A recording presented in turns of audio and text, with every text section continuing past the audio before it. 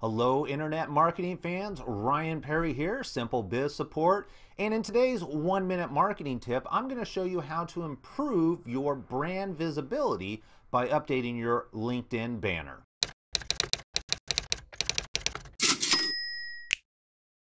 An easy way to improve your brand visibility is to add a banner image to your LinkedIn profile. Just like all your other social media accounts, you should have a banner there, otherwise you have an empty space.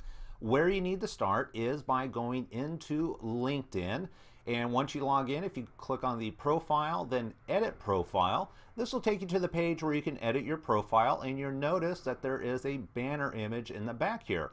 All you need to do is click this button here that says edit background and then click change image or upload the image.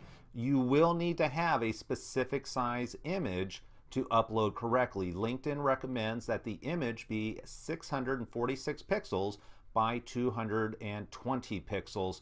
If you want the specific information, I'll put a link down below for LinkedIn's help topic.